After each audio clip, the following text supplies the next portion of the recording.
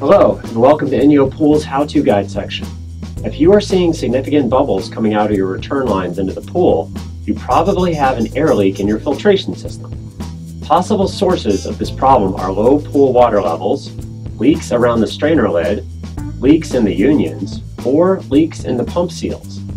For optimum pool pump operation, the source of the leak must be identified and corrected.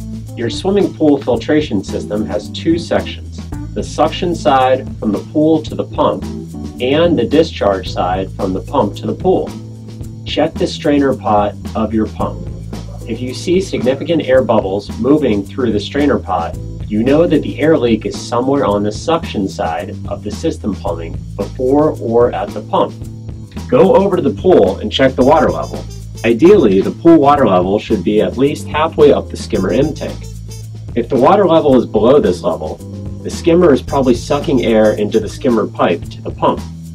This is a simple problem to resolve. Simply fill the pool to the halfway point of the skimmer. If the pool water level is adequate, your next step is to check the strainer lip on the pump. If it is not on tight, you may be sucking air through the lid. To check the lid, first turn off the power to the pump at the breaker box. Take off the pool pump strainer lid. These are generally screwed on or secured with toggle bolts. Pull the O-ring out of its groove. Clean out any debris that may be in the groove. Check the O-ring for cracks or wear. Sometimes an older O-ring is stretched so that it bulges when you try to replace it in its groove. This is a common source of leaks. When you screw on the lid, the O-ring will bulge out and create a leak. Replace a worn or stretched O-ring. Also, it's a good idea to lubricate the O-ring lightly before replacing the lid. Use a good pool seal lubricant. Do not use petroleum jelly. If your pool pump strainer lid was not the problem, check the union commonly inserted before the pump. Again, make sure that power to the pool pump is turned off before unscrewing the union. After separating the union, you should see an O-ring in the groove of the union.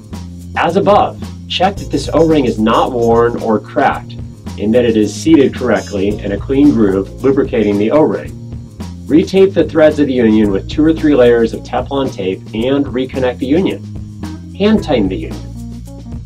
If these steps have not corrected your air bubbles and you have an older pool pump, you may have a leak in the motor shaft seal. This shows the location of the motor shaft seal in a Hayward pump. For instructions on replacing a motor shaft seal, go to the How to Replace a Motor Shaft Seal video. If you have any additional questions, please feel free to call us toll free at 1 877 372 6038 or visit us online at www.inyopools.com.